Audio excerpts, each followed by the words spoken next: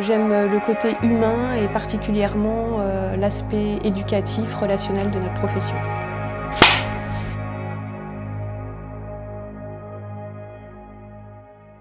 Euh, je m'occupe particulièrement euh, de l'éducation du patient, donc que ce soit en prédialyse. Je fais aussi de la formation de patients en autodialyse et dialyse à domicile.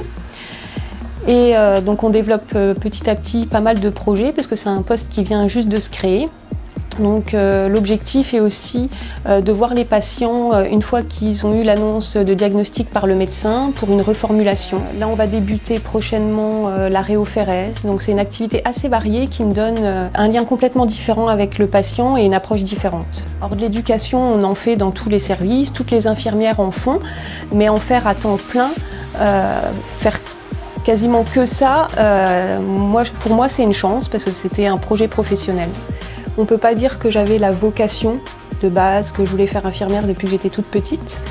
C'est venu au fur et à mesure du temps, assez tardivement. J'ai passé le concours d'infirmière et euh, la vocation et la passion du, métier m'est venue à ce moment-là, au fur et à mesure de mes expériences, de mes stages. C'est un métier que je trouve passionnant et, euh, finalement je me dis que c'est ce choix euh, un peu par hasard, on va dire. Euh, c'est ce qui fait que je suis certainement euh, l'infirmière que je suis aujourd'hui, parce que justement j'ai appris à aimer ce métier avec ses contraintes une fois que j'étais dedans. Je trouve que c'est un métier aussi prenant, parce que ça, ça prend sur notre temps, ça prend sur notre mental aussi, parce qu'on est parfois confronté à des situations qui sont compliquées. En fait, moi, c'est ce que j'aime en dialyse, c'est justement ce lien-là qu'on n'a absolument pas ailleurs. Alors, ce qui peut être compliqué, au début, du coup, c'est de mettre en place la bonne distance. Parce qu'avoir une bonne distance avec des patients qu'on connaît, pour qui on connaît beaucoup de choses sur eux, sur leur vie, qui connaissent aussi beaucoup de choses sur nous, c'est parfois pas évident.